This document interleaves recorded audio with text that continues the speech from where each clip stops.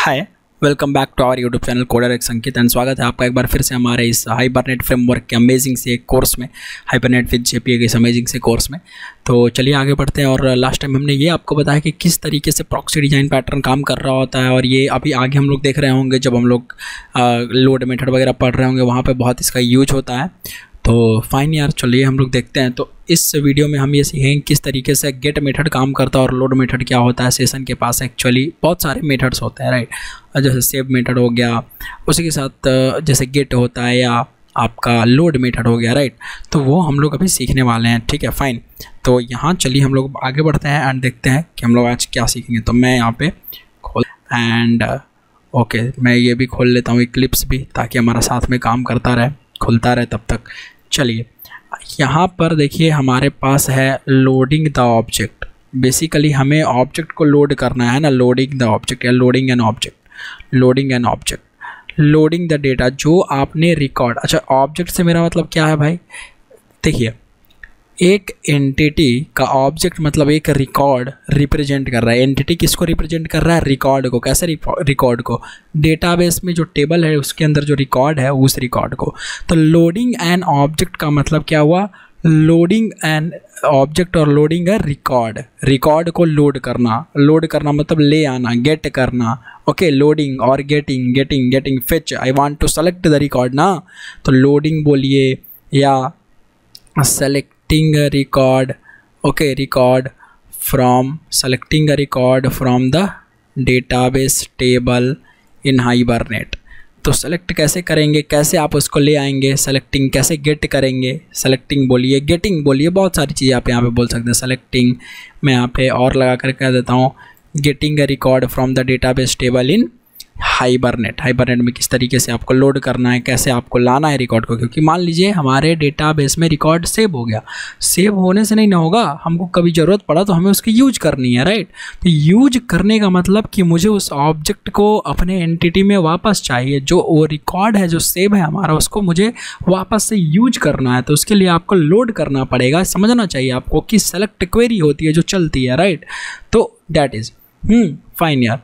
तो हमें वो करना है। तो वो हम हाइबरनेट से कैसे करेंगे, उसी के लिए मैंने आपको बताया प्रॉक्सी डिज़ाइन पैटर्न क्योंकि उसका यूज़ है, आगे हम लोग देखेंगे, समझेंगे, ज़रूर समझेंगे। अभी फ़िलहाल समझते हैं कि लोडिंग एन ऑब्जेक्ट का क्या मतलब होता है। तो सेलेक्टिंग अ रिकॉर्ड यहाँ पर अगर मैं लिखूँ कि लोडिंग एन ऑब्जेक्ट का मतलब क्या हुआ, कि selecting a record okay record from the database table and storing it in the storing it into the entity entity class object okay अरे यार लोड करना। अच्छा एक बात बताइए, मुझे एंटिटी क्लास किसको रिप्रेजेंट कर रहा है? एक रिकॉर्ड को, एक एंटिटी क्लास का ऑब्जेक्ट एक रिकॉर्ड को रिप्रेजेंट करता है ना? मेरे भाई, ये जो हम एंटिटी क्लास बनाते हैं, ऐसे करके मान लीजिए कि object of the entity class है, ठीक है?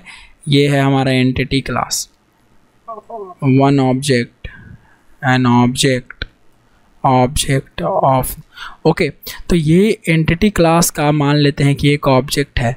तो ये एंटिटी क्लास का जो ऑब्जेक्ट है, जो आपके डेटाबेस में टेबल में रिकॉर्ड है, ठीक है? जो आपके डेटाबेस के टेबल में रिकॉर्ड है, ठीक है? यहाँ पे हम लिख लेते हैं पी आई डी यहाँ पे पी नेम और यहाँ पे P quantity P amount product amount या प्राइस ये मैं आपको समझाने के लिए लिख रहा हूँ, ऐसा हमने बस समझाने के लिए आपको लिख रहा हूँ मैं, ठीक है?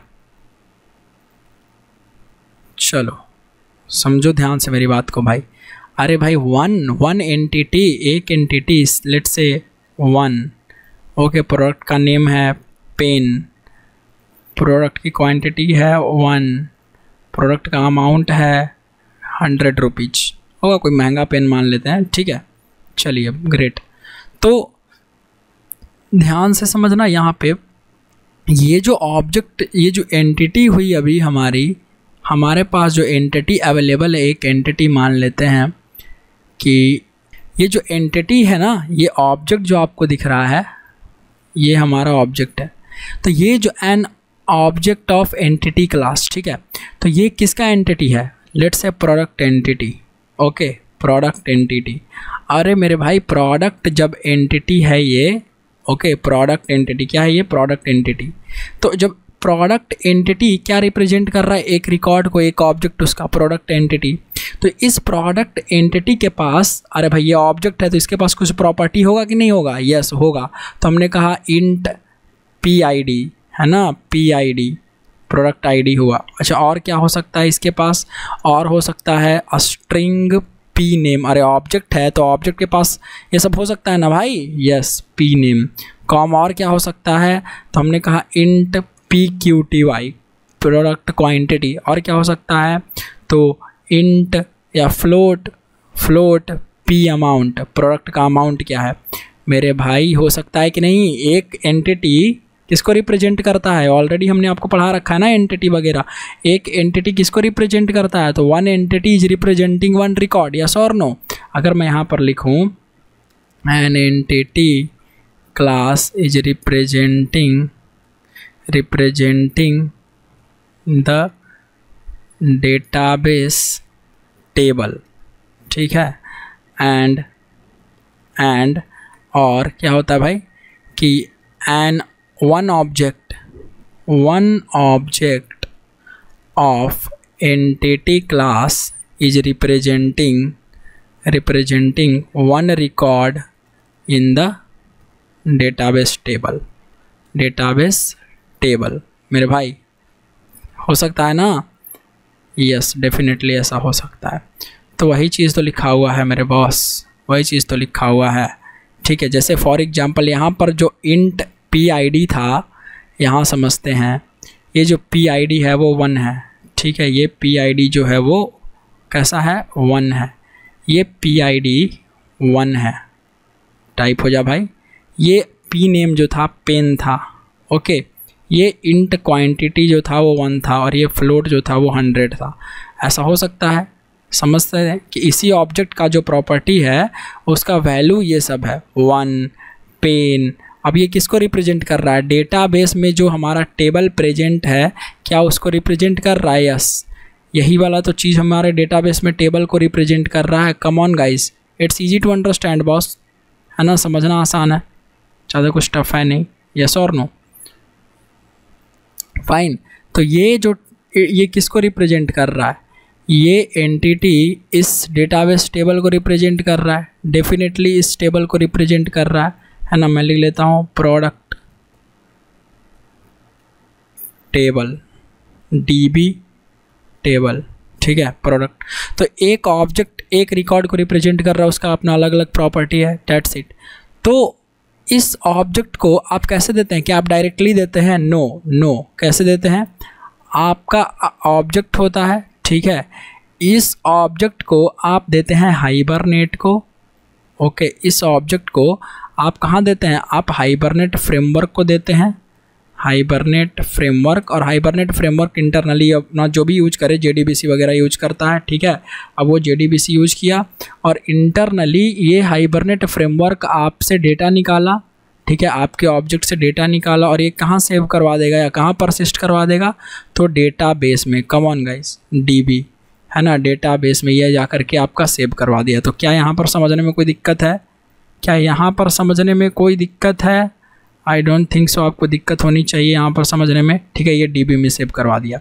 अब मान लीजिए डेटाबेस में तो सेव करवा दिया। ठीक है, ये क्या है? ऑब्जेक्ट है ओ बी जे ऑब्जेक्ट लेकिन अगर आपको वापस रिकॉर्ड से ये आपका डेटाबेस रिकॉर्ड है, ठीक है, ये आपका डेटाबेस टेबल है, अब इस डेटाबेस टेबल से आपको चाहिए रिकॉर्ड डीबी आपका कोई रिकॉर्ड प्रेजेंट है, ठीक है तो वो रिकॉर्ड जो प्रेजेंट होगा, वो कैसे देगा डेटाबेस डेटाबेस से ये हाइबरनेट आपको अगर कोई रिकॉर्ड चाहिए कि हाँ भाई, मुझे उस प्रोडक्ट के बारे में चाहिए। प्रोडक्ट वन प्रोडक्ट वन का डिटेल निकालो, जिसका प्रोडक्ट आईडी वन है, उसका डिटेल निकाल। लो ठीक है तो डिटेल निकाला। तो डेटाबेस से क्या निकला? ये कहाँ जाएगा? ये हाइबरनेट के पास जाएगा। तो हाइबरनेट के पास कैसे जाएगा भाई? हाइबरनेट फ्रेमवर्क तो ऑब्जेक्ट के साथ काम करता है है ना? हाइबरनेट फ्रेमवर्क तो ऑब्जेक्ट के साथ काम करता है तो ये जो ऑब्जेक्ट होगा, ये ऑब्जेक्ट में ही जा कर के स्टोर हो जाएगा फिर से वापस से। क्या समझे? आसान तो है समझना। वही उसका अपोजिट हो गया ये यहाँ से यहाँ से उठाएगा, यहाँ से लाएगा और इसको एक ऑब्जेक्ट बना करके दे देगा। ठीक है? ऑब्जेक्ट ये हुआ entity class simple O B J this is entity class अब ये एंटिटी क्लास का एक ऑब्जेक्ट हो गया हमारा। समझना आसान तो है बॉस क्या है तक इसमें दिक्कत है है ना? तो बेसिकली अभी हमारा डेटा जब इसके पास नहीं था, जब इस डेटाबेस टेबल में डेटा नहीं था तो हम यूज़ कर रहे थे सेव मेथड या परसिस्ट मेथड डेटा को सेव करवाने के लिए। अब हमारा डेटा ऑलरेडी यहाँ मौजूद है, इस डेटाबेस टेबल में। तो अब यहाँ से डेटा हमें चाहिए राइट हमें इस टेबल से चाहिए इस एंटिटी क्लास के ऑब्जेक्ट में डेटा तो हम कैसे करेंगे भाई? कैसे लाएँगे डेटा को? है ना? ये बात है। तो इसको लाने के लिए क्या आपको लोड करना पड़ेगा ऑब्जेक्ट को? यस आपको लोड करना पड़ता है।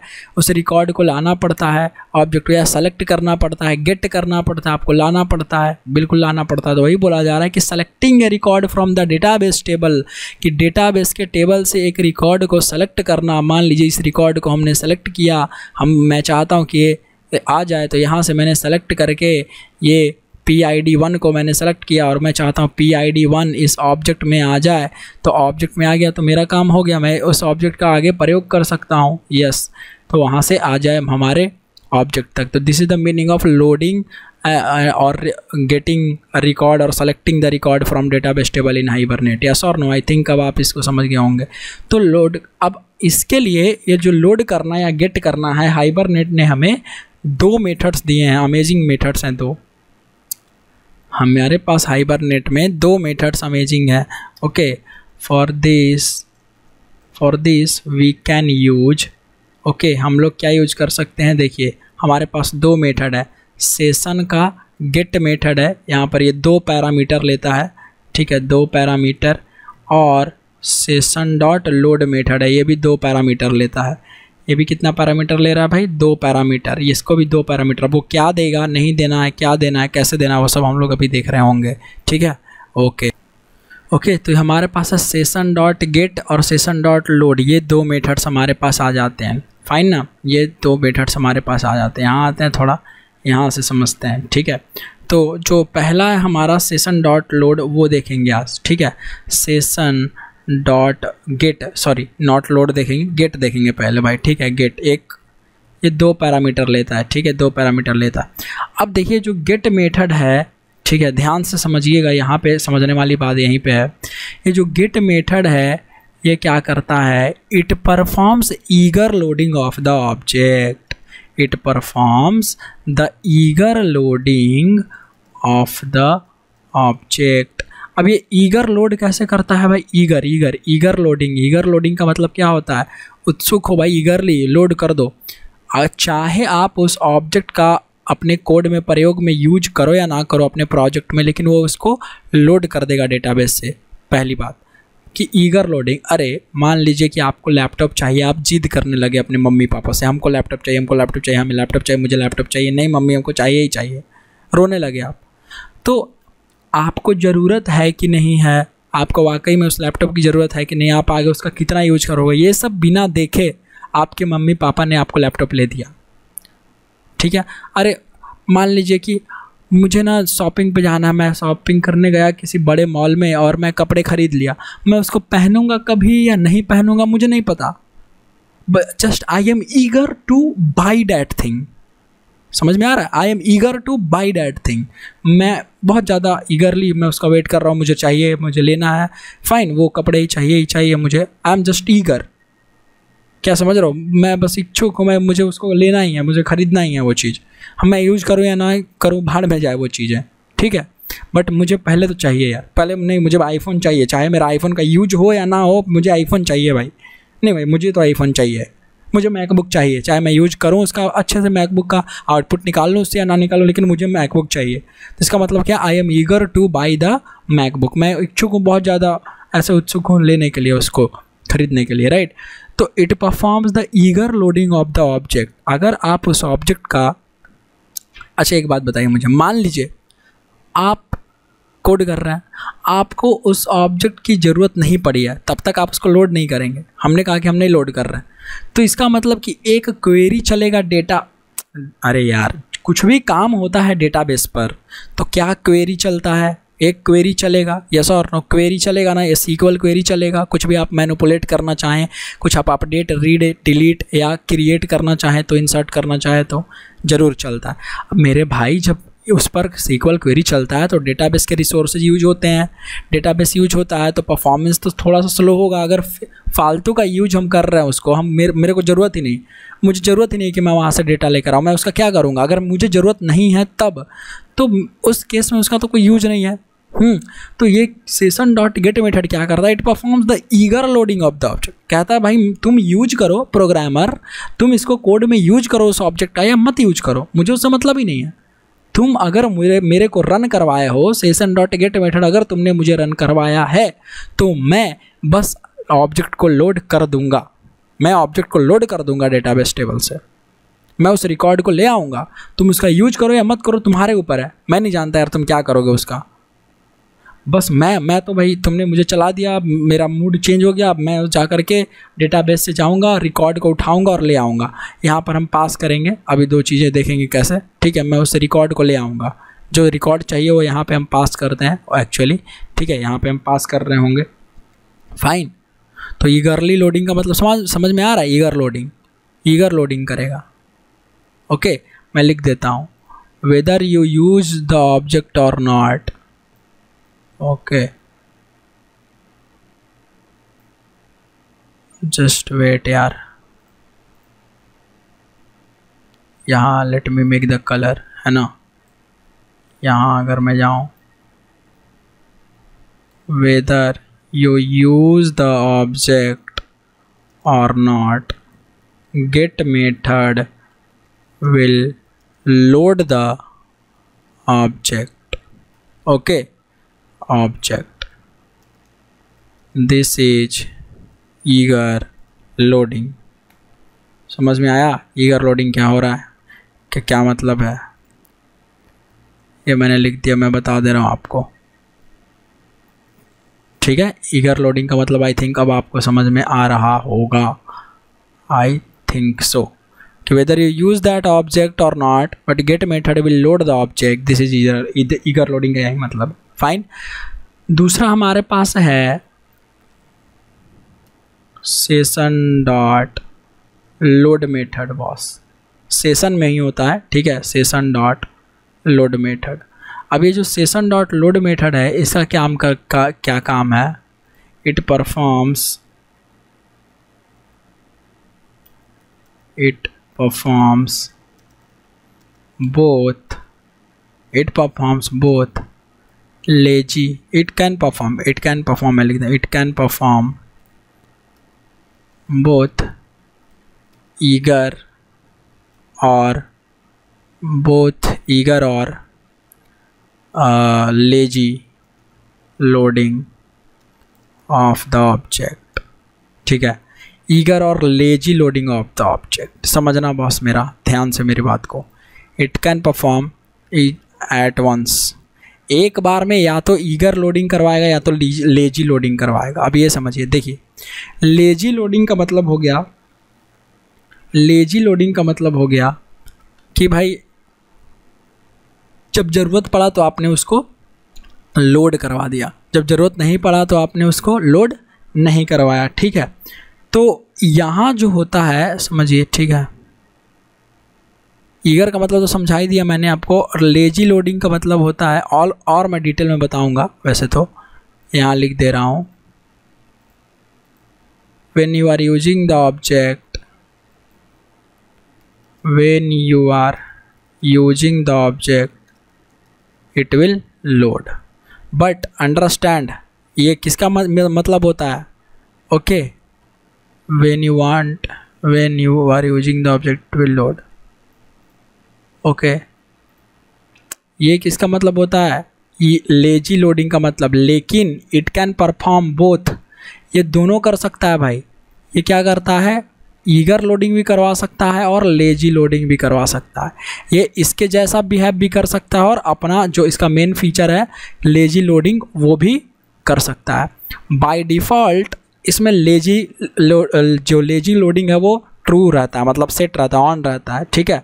तो डिफ़ॉल्ट डिफ़ॉल्ट कैसा रहता है? Default default in lazy loading default in default कैसा होता है default lazy loading we can change we can change the loading type we can change the loading type हम लोग लो, इस लोडिंग टाइप को चेंज भी कर सकते हैं कि हमें कैसा चाहिए अपनी ज़रूरत के अनुसार। प्रोजेक्ट में अपनी ज़रूरत के अनुसार हम लोग इसको चेंज भी कर सकते हैं that's not a problem fine तो समझ गए? लेजी लोडिंग का मतलब कि जब ज़रूरत पड़े तभी उसको, पहले से मतलब ऐसा नहीं कि वो बस करके रखेगा ही रखेगा, आपका जब ज़रूरत पड़ेगा तब आप इसको करवा सकते हैं, थोड़ा फ्लेक्सिबिलिटी आपको देता है। ठीक है तो इसका डिटेल में बात करेंगे बाद में। अभी पहला हम ये बात करते हैं। सबसे पहले ये समझ लेते हैं, इसका प्रैक्टिकल देखेंगे, फिर इसका भी प्रैक्टिकल देखेंगे। यस और नो यार? कम ऑन यस चलिए, आगे बढ़ते हैं। देखिए अगर मैं आपसे, आपको दिखाऊँ आइबरनेट अगर यहाँ से हम लोग खोलते हैं किसी सेशन एपीआई में, देखिए, ये इंटरफेस सेशन है है ना? सेशन है। सेशन के अंदर ही होता है। सेशन के अंदर ही होता है मेरे भाई। और सेशन के अंदर मैं चाहूँ तो गेट सर्च कर लेता हूँ। गेट चलो देखो, ये रहा गेट हमारा। ये हमारा गेट क्लास यहाँ पे क्या लिखा हुआ है? देखो object get class class type है ना? क्लास टाइप क्लास मतलब क्या है यहाँ पर? A persistence class I D serializable type serializable type object get okay return the persistence instance of the given entity class with the with the given identifier और null if there is no such persistence instance if the instance is already associated with the session return that instance. समझ रहे हो? देखो यहाँ पे get. ये क्या return करेगा? ऑब्जेक्ट टाइप का ऑब्जेक्ट ठीक है? ये रिटर्न कर रहा होगा. गेट अगर आप इसका एपीआई देखें जावा डॉक ये तो जे जाते हैं यहाँ पे अपने डॉक्यूमेंटेशन में. ये जो हमारा हाइबरनेट है यहाँ पे हमारा इंस्टॉल किया हुआ है ना? हम्म, और डॉक्यूमेंटेशन में देन जावा डॉक्स यहाँ पे देखो index dot S T M L है, ठीक है?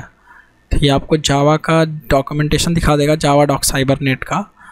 यहाँ पे अगर मैं सर्च करता हूँ सेशन कहीं पे मुझे मिलेगा। सेशन देखो, ये रहा। अब सेशन हमें मिला, इस सेशन में सर्च करते हैं गेट मेथड कहीं पे तो होगा गेट गेट भाई हाँ ये रहा गेट ये देखिए गेट कैसा है। मैं आपको अगर खोल करके यहाँ से दिखाऊँ अच्छे से गेट ठीक है? देखिए, पहले इसका सिग्नेचर समझते हैं। कैसा सिग्नेचर है? ये टी ओ अच्छा एक सेकंड एक सेकंड सिर्फ़ get entity type serializable ID this get और here okay copy it and ये सीरियलाइजेबल आईडी ये इसका क्या है? सिग्नेचर है मेथड सिग्नेचर मेथड सिग्नेचर समझ रहे हैं ना? क्या होता है? मेथड सिग्नेचर अरे मेथड सिग्नेचर मतलब जो इसका पूरा रियल मेथड है, वो दिखता कैसा उसका क्या पब्लिक है, नहीं है, कैसा है? स्टैटिक है नॉन स्टैटिक है, जो सब कुछ मतलब मिला करके जो भी आप इसको बोल सकते हो कि ये मेथड सिग्नेचर है, ठीक है? मेथड सिग्नेचर मेथड सिग्नेचर्स ठीक है? तो ये किसका सिग्नेचर है भाई? मेथड सिग्नेचर सेशन अच्छा मैं लिख ही देता हूँ। सेशन डॉट गेट ये गेट मेथड का सिग्नेचर है। Fine session dot get method signature अब ये मेथड सिग्नेचर आप देखो। यहाँ पर अगर आप देखोगे तो टी है ना? ये टी जो आपको दिख रहा है, एक सेकंड में इसको मिटाता हूँ यार। ये जो आपको टी दिख रहा है टी का मतलब यहाँ पर हो गया जेनेरिक क्लास में, ठीक है? जेनेरिक क्लास में अगर आप यूज़ करते हैं कुछ भी, यहाँ पर जेनेरिक टाइप में बोल रहा हूँ। Type type of the class ठीक है? तो ये जो टाइप ऑफ़ द क्लास है, ये उसी का रिटर्न टाइप है ना? Class type T T T return कर रहा है टी टी रिटर्न करने का मतलब ये वही क्लास रिटर्न करेगा, जिस क्लास को आप ये एंटिटी पास करोगे, जिस क्लास का एंटिटी होगा वो। क्योंकि आपके ऊपर डिपेंड करेगा ना कि कौन सा एंटिटी है। हो सकता है आप मल्टीपल एंटिटी स्टूडेंट एंटिटी हुआ हो सकता है कि आपके पास प्रोडक्ट एंटिटी हो। है ना बहुत सारा है। प्रोडक्ट एंटिटी हो। हो सकता है आपके पास एम्प्लॉई एंटिटी हो। हो सकता है आपके पास ऑर्डर एंटिटी हो। है ना? तो ये अलग अलग तरीके के एंटिटी हो सकते हैं ना आपके डे, डेटाबेस के लिए। अलग अलग तरीके के एंटिटी आपके प्रोग्राम में हो सकते हैं, आपके प्रोजेक्ट में हो सकते हैं। तो ये टी का मतलब वही हो गया type type of the class है ना? Your type of the class तो कौन से क्लास का एंटिटी आपको चाहिए? कौन से क्लास का ऑब्जेक्ट चाहिए? तो मान लीजिए मैं मैं अगर प्रोडक्ट ढूंढ रहा हूँ तो डेफिनेटली मैं स्टूडेंट का एंटिटी नहीं चाहूँगा। मैं प्रोडक्ट का एंटिटी ही चाहूँगा। मैं प्रोडक्ट के एंटिटी ऑब्जेक्ट ही चाहूँगा। या मैं ये चाहूँगा कि हाँ भाई, मैं स्टूडेंट ढूंढ रहा हूँ और मुझे प्रोडक्ट का डिटेल्स मिले। नहीं, मैं अगर स्टूडेंट एंटिटी ढूंढ रहा हूँ, एक रोल नंबर वन का मुझे डेटा चाहिए। हमने कहा रोल नंबर वन जाके देखो। या मैंने कहा प्रोडक्ट आईडी वन तो जब प्रोडक्ट आईडी वन है, वो तो प्रोडक्ट प्रोडक्ट टेबल में है। तो मतलब प्रोडक्ट एंटिटी जो हमने बनाया, उसका ऑब्जेक्ट में जाना चाहिए सब चीज़। तो जो एंटिटी आप यहाँ पर डालोगे, वही एंटिटी आपको रिटर्न करेगा। इसीलिए इसका रिटर्न टाइप भी वही है। ठीक है, इसीलिए इसका रिटर्न टाइप भी वही है। और ये क्या करेगा? सीरियलाइज्ड आईडी कौन सा सीरियलाइजेबल आईडी आईडी मतलब क्या? वो जो प्राइमरी की डालोगे ना, ये जो प्राइमरी की जो आपका आईडी होता है, वो आईडी आप डालो सीरियलाइजेबल के फॉर्मेट में। सीरियलाइजेबल के फॉर्मेट में कहने का मतलब आप डालोगे, आप प्रीमेटिव भी डालोगे तो वो कन्वर्ट हो जाएगा। क्यों? क्योंकि सीरियलाइजेबल एक ऐसा कॉमन इंटरफेस है जो हर रैपर क्लास यूज़ करता है। रैपर क्लास मतलब जो integer capital I N T G E R वाला। ठीक है, उसके बाद float capital F L O A T है ना? Double capital D O B D O U B L E तो this T means the type of class when when we need the entity object okay when we need the entity object from the, when we need entity object from get method, हमें get method से क्या चाहिए? Entity object क्यों? Already ऊपर समझाया ना कि एक एंटिटी क्लास किसको रिप्रेजेंट कर रहा है? एक टेबल को। एंटिटी क्लास का ऑब्जेक्ट किसको रिप्रेजेंट कर रहा है? एक ऑब उसका जो ऑब्जेक्ट वो किसको रिप्रेजेंट कर रहा है? तो वो रिप्रेजेंट कर रहा है एक रिकॉर्ड को राइट तो when we need the entity object from get ध्यान से समझिएगा मेरे दोस्त। When we need the entity object from get method से अगर हमको चाहिए एंटिटी का object then then we will pass the require entity class name entity class name in our running Java application okay in our running Java application and then it will run the it will process it and returns the instance yeah, object of object of the same t. Means same same entity class object which we have passed in it in the in its in passed in get method get method as parameter ठीक है parameter कि this T means type of the class जो भी type आपका class है, जो entity का class है, वो कहाँ देंगे? इस गेट मेथड में यहाँ पे। और ये सीरियलाइजेबल आईडी जो है, ये आईडी मतलब आपका जो प्राइमरी की रहेगा, वो डालना है। तो जो भी फॉर्म में, चाहे आपका स्ट्रिंग के फॉर्म में प्राइमरी की हो, वहाँ पे आईडी उस टेबल में, या फिर जो भी आपका आईडी हो, वो डालना है ना? तो अगर आपका आईडी मान लीजिए कि आपने स्मॉल इंट लिया है आई लिया है तो वो आउटो बॉक्सिंग का यूज़ करेगा सीरियलाइजेबल में कन्वर्ट हो जाएगा, ठीक है? ओके okay, यहाँ समझते हैं। पहले तो ये टी का मतलब क्या होता है भाई? कि टाइप ऑफ़ द क्लास तो जब हम ऑब्जेक्ट चाहेंगे मुझे स्टूडेंट एंटिटी चाहिए तो हम स्टूडेंट एंटिटी लिखेंगे। हम कहेंगे भाई स्टूडेंट एंटिटी मैं यहाँ पे कैसे लिखूँगा यहाँ कहूँगा कि भाई सेशन डॉट गेट मुझे यहाँ पर प्रोडक्ट चाहिए तो मैं लिखूँगा प्रोडक्ट एंटिटी है ना? प्रोडक्ट एंटिटी लेकिन ध्यान से समझिएगा ध्यान से समझिएगा। It only needs the name इसको सिर्फ़ और सिर्फ़ नाम चाहिए। ऑब्जेक्ट नहीं चाहिए। ऑब्जेक्ट नहीं चाहिए। ठीक है? It only needs the name this session dot get method okay dot class पहले तो मैं लिख लेता हूँ क्लास मैं क्यों लिख रहा हूँ बताऊँगा। उसके बाद यहाँ पे मुझे क्या पास करना है? आईडी तो मैंने पास किया वन लेट से मैंने पास किया वन ये हमारा आईडी है। अगर है तो अगर ऐसा है तो हमने ऐसा पास किया। देखिए, समझिए। ये जो एंटिटी है ना, यहाँ पर हमें क्या पास करना है? आवर क्लास ओके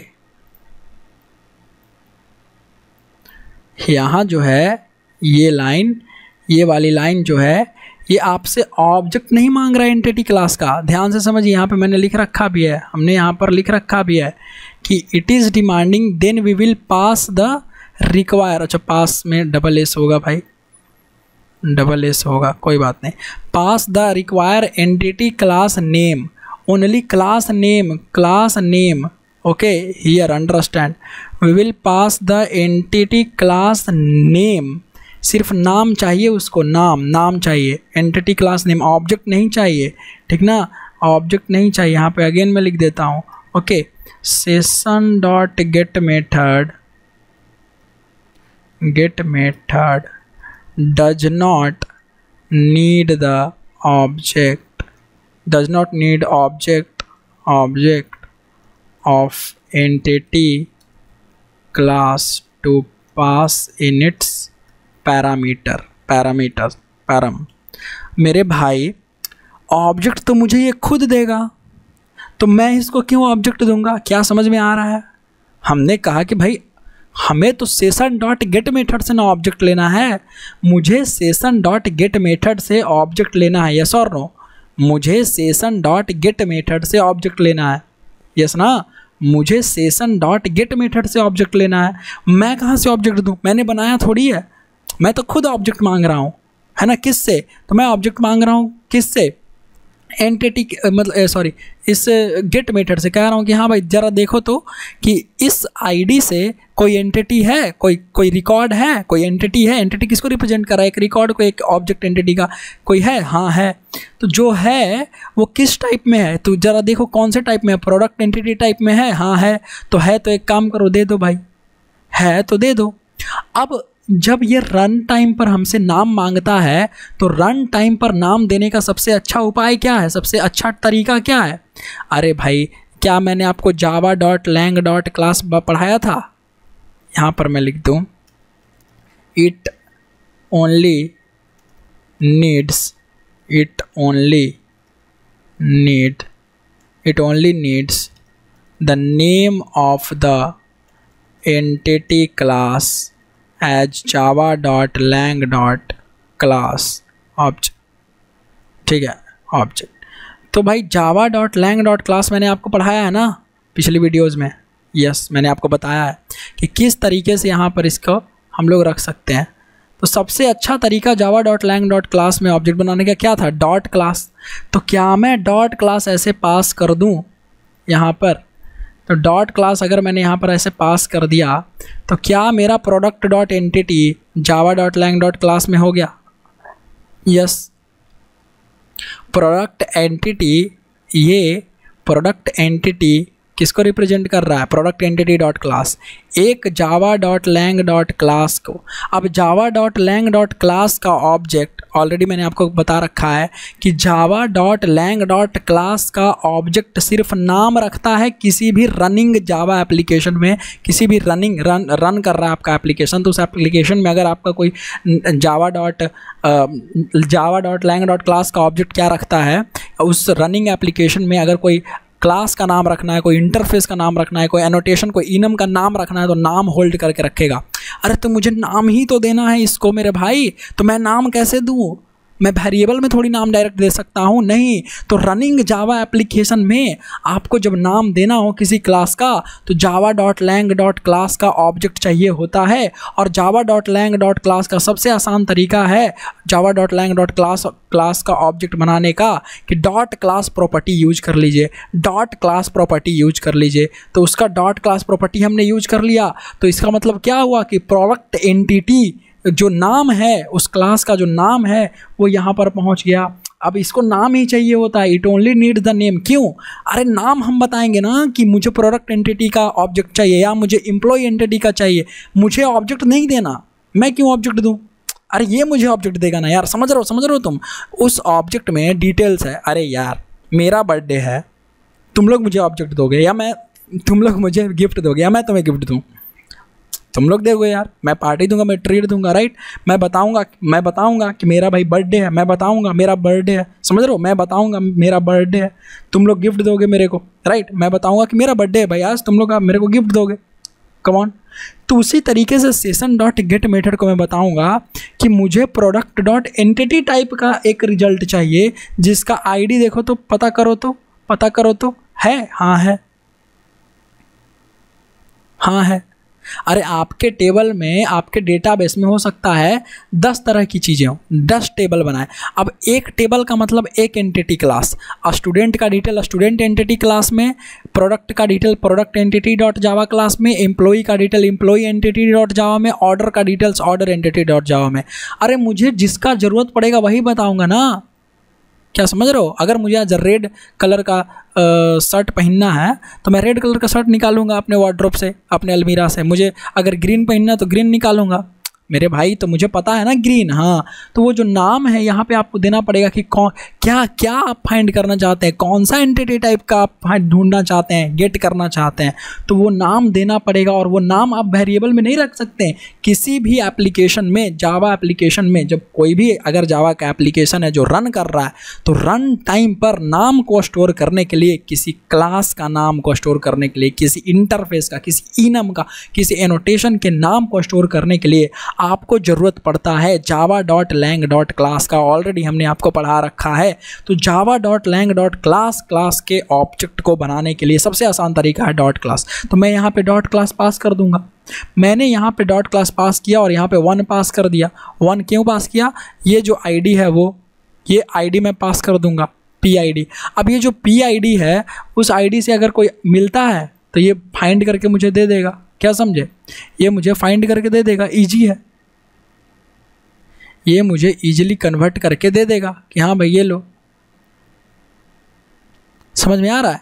ये मुझे फाइंड करके ईजिली दे देगा कि हाँ सर ये रहा आपका मिल गया। और नहीं मिला तो नल रिटर्न कर देगा। समझ में आ रहा है ना? नल रिटर्न कर देगा अगर नहीं मिलेगा तो। उसके डेटाबेस टेबल में वो रिकॉर्ड नहीं मिलता है तो, तो आसान तो है यार इतना इतना तुम लोग टेंशन में क्यों हो? क्या समझ में आ रहा है? यस अगर समझ में आ रहा है तो बहुत अच्छी बात है। मेरे आपको समझ में आना चाहिए, ये समझ में आना चाहिए आपको। ठीक ना? तो ये वही क्लास का मुझे एंटिटी रिटर्न करके दे देगा और मैं उसको रख लूँगा। ठीक है? जब मैंने यहाँ पे इस तरीके से ये क्या रिटर्न करके देगा? सेम क्लास का एंटिटी तो मैं एक वही product entity P product entity P equal to मैं इसमें स्टोर कर सकता हूँ अब। डेफिनेटली कर सकता हूँ। तो मैंने इसमें स्टोर कर लिया। क्या समझे? मैंने इसमें स्टोर कर लिया। तो अब ये मुझे, मेरा काम तो हो गया। मेरा काम इतना ही तो था। यस मेरा काम इतना ही था। हो गया मेरा। मुझे मिल गया एक पी अब इस पी को अगर मैं प्रिंट करूँ system dot out dot system dot out dot print L N print L N अगर मैं पी को प्रिंट करूँ तो क्या टू स्ट्रिंग मेथड कॉल हो जाएगा? किसका?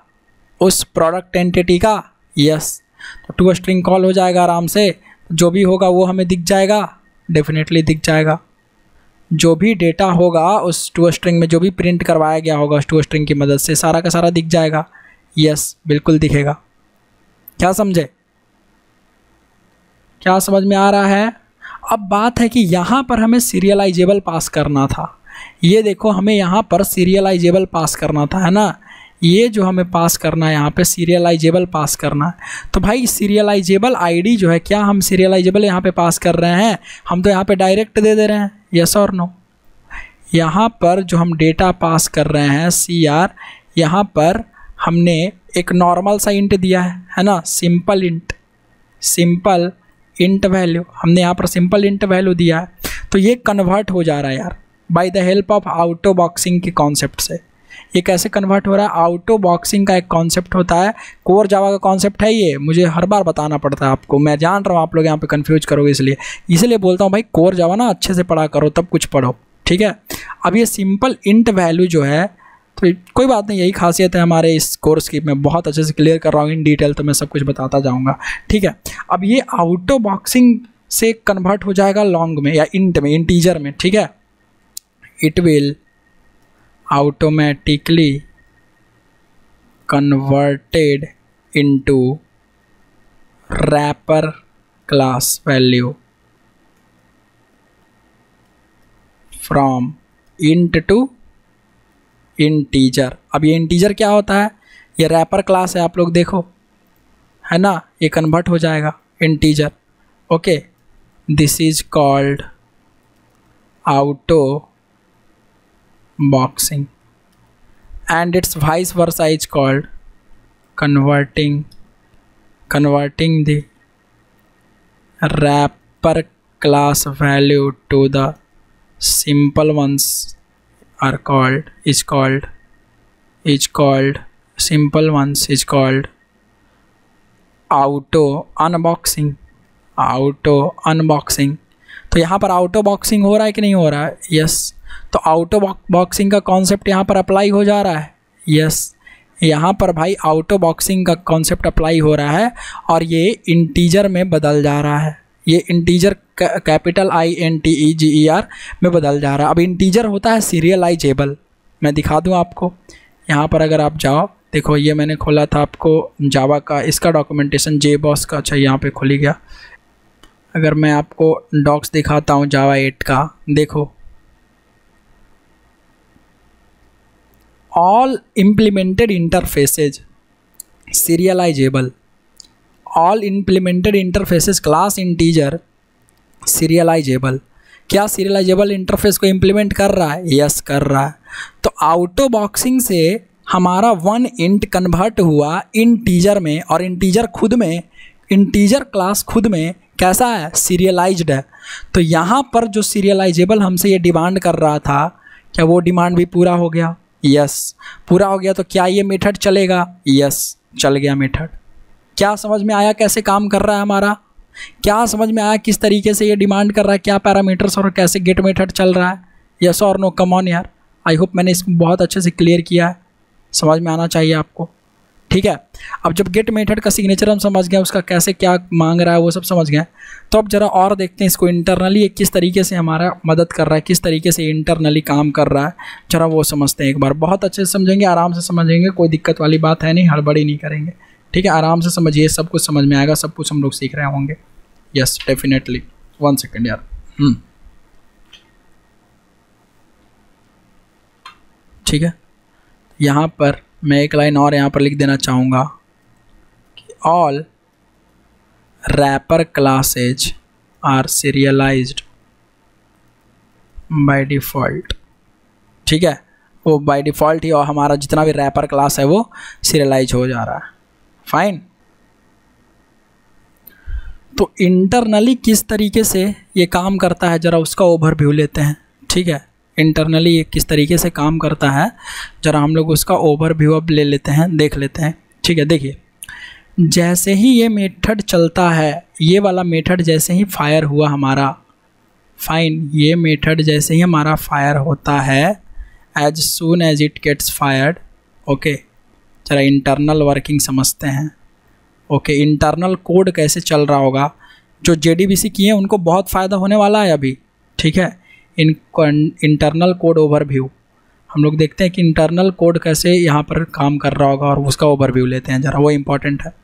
तो यहाँ देखिए ज़रा आप इसको समझते हैं हम लोग इंटरनल कोड ओवरव्यू अच्छा एक एक लाइन और यहाँ पे मैं आपको बता देता हूँ इंटरनल कोड ओवरव्यू देने से पहले कि ओके ने जो हमारा गेट मेथड है, जैसे ही आप इसको रन करते हो hits the database the moment when it runs जैसे ही ये मेथड रन होता है तो हिट द ये मेथड करता है and find and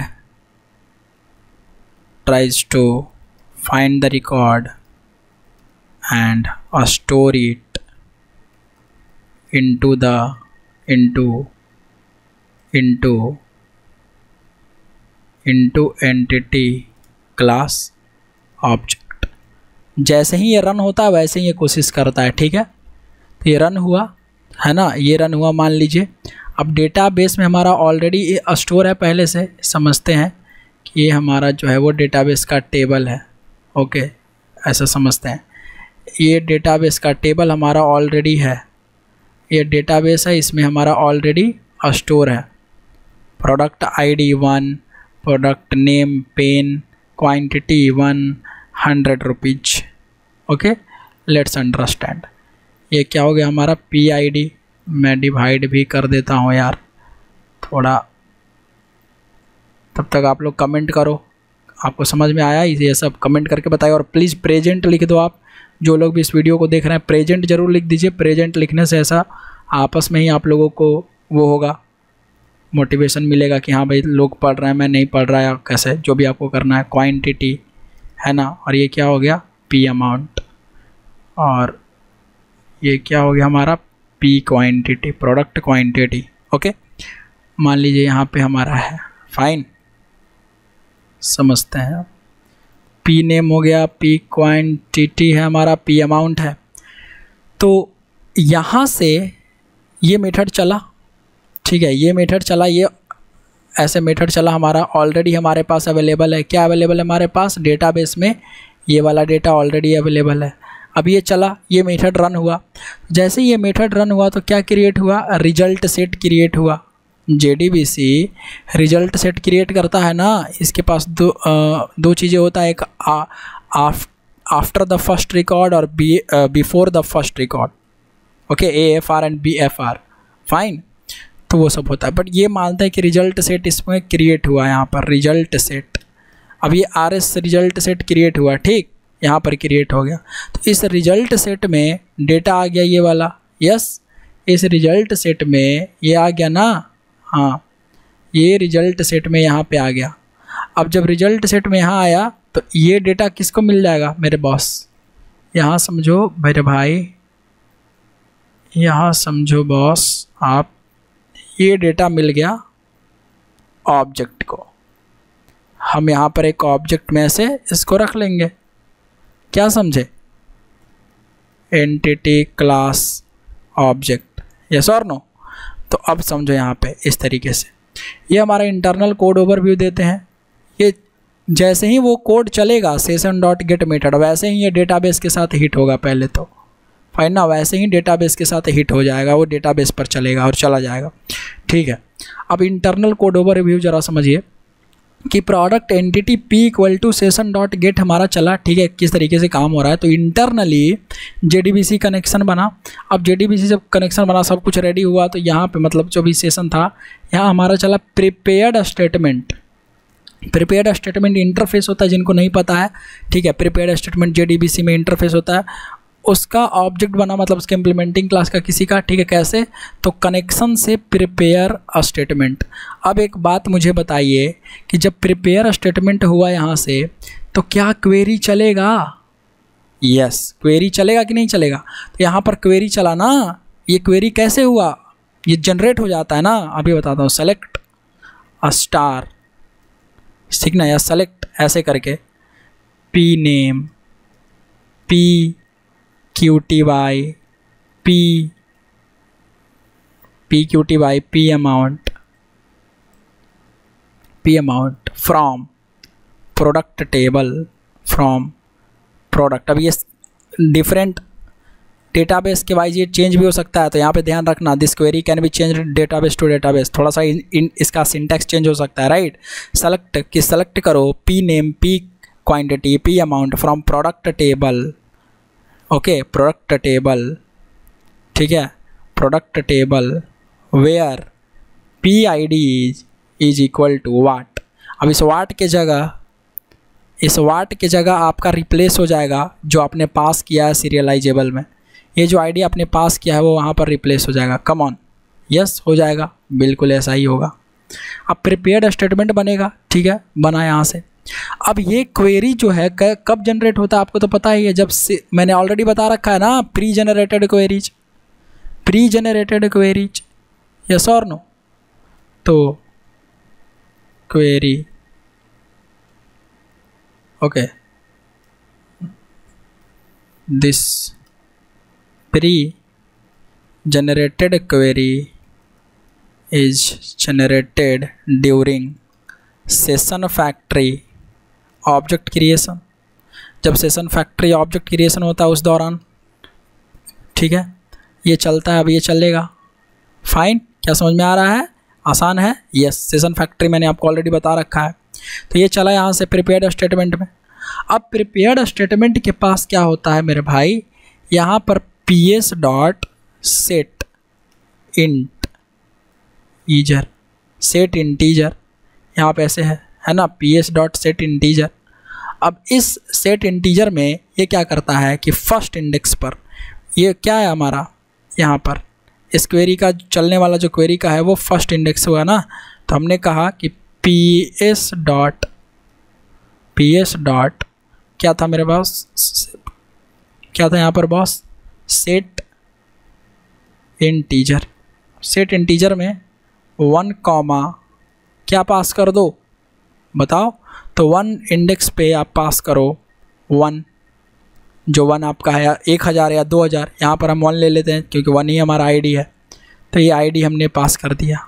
यस ना? ये आईडी हमने पास कर दिया। अब ये आईडी इस, इसके जगह जा कर के वो हो जाएगा। रिप्लेस हो जाएगा। ये वन यहाँ पे चला जाएगा। कम ऑन ग्रेट तो सेट इंटीजर इंटीजर सेट हो गया। अब यहाँ पर रिज़ल्ट सेट का जो ऑब्जेक्ट बना, ठीक है रिज़ल्ट सेट ये क्या रिटर्न करके दिया भाई? Result set R S equal to P S dot execute query नाम का मेथड होता है। अब ये सेलेक्ट क्वेरी को चला देता है। तो सेलेक्ट क्वेरी को डेटाबेस में चलाया तो इसको रिज़ल्ट सेट मिला। अब रिज़ल्ट सेट जो है, ये नल तो होगा नहीं, क्योंकि इसके पास अगर रिज़ल्ट है, इसके पास रिज़ल्ट है ओके मतलब रिज़ल्ट निकला इसका। इसका रिज़ल्ट सेट मतलब रिकॉर्ड निकला, है ना? जो भी रिकॉर्ड निकला। तो हम अब यहाँ पर क्या कर रहे होंगे? रिकॉर्ड तो निकला हमारा, ध्यान से समझिएगा। यहाँ से इसको रिज़ल्ट सेट में रिकॉर्ड आ गया। अब यहाँ पर क्या होगा कि इस आर एस में जो रिकॉर्ड है है ना? इफ़ यहाँ पर मेरे भाई, यहाँ पे देखो आप ज़रा कि आर एस में अगर रिकॉर्ड है if R S is not equal to null तो क्या करना है? जो भी आपका रिज़ल्ट सेट निकला है, उसमें से वैल्यू जो है एंटिटी के ऑब्जेक्ट में सेव करवा देना है। यस ना? सेव करवा देना है। तो ये जो रिज़ल्ट सेट का ऑब्जेक्ट है, कहाँ जाएगा? ये ऑब्जेक्ट में।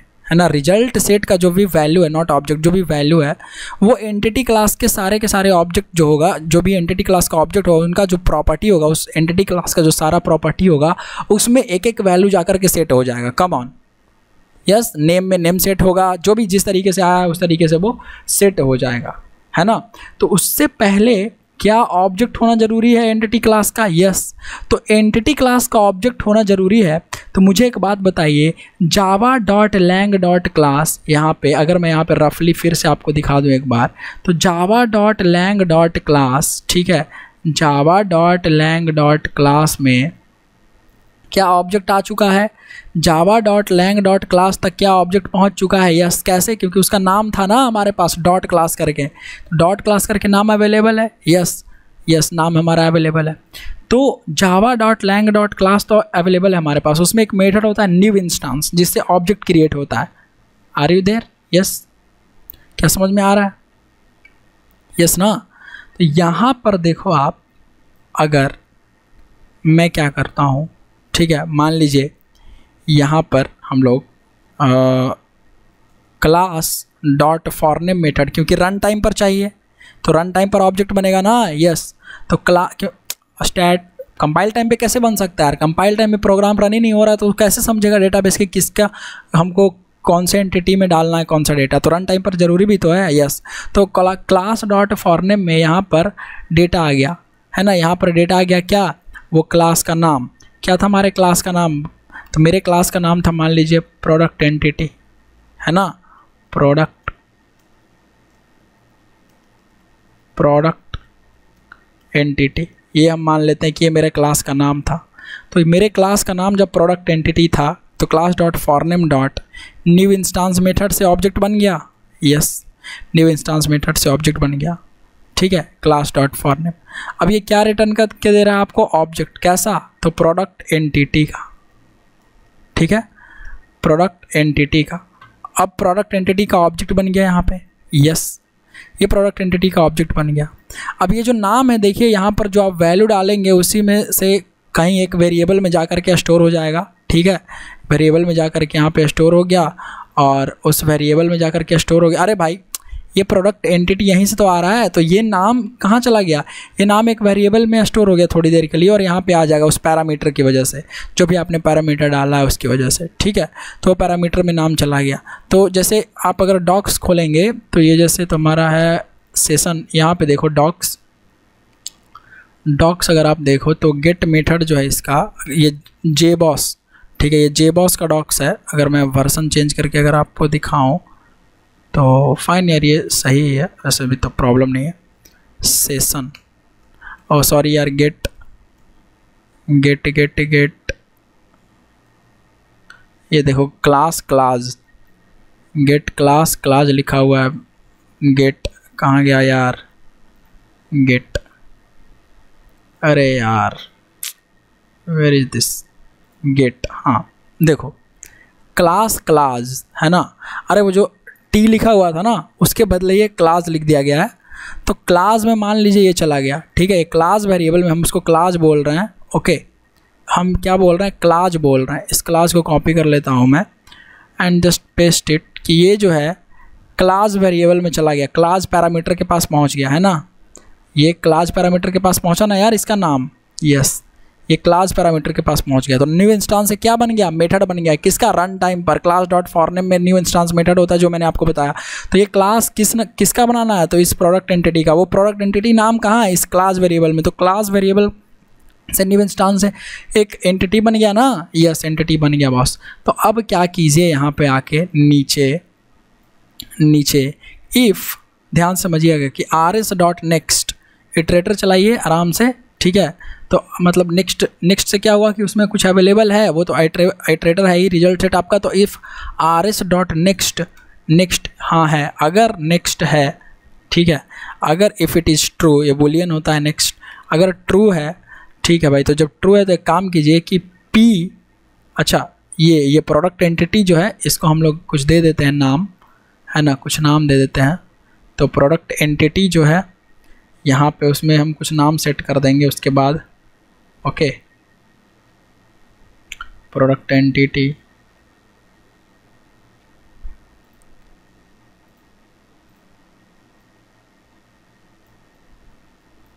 ठीक है, यहाँ से लेट से हमने पी ई पी एक वेरिएबल में जो ऑब्जेक्ट बना वो होल्ड कर लिया। तो पी ई डॉट ठीक है या चलो एक सेकेंड यार, इसको मिटा ही देता हूँ। तो अब हम क्या कहेंगे कि हाँ भाई रिज़ल्ट सेट में कुछ वैल्यू है? हाँ है।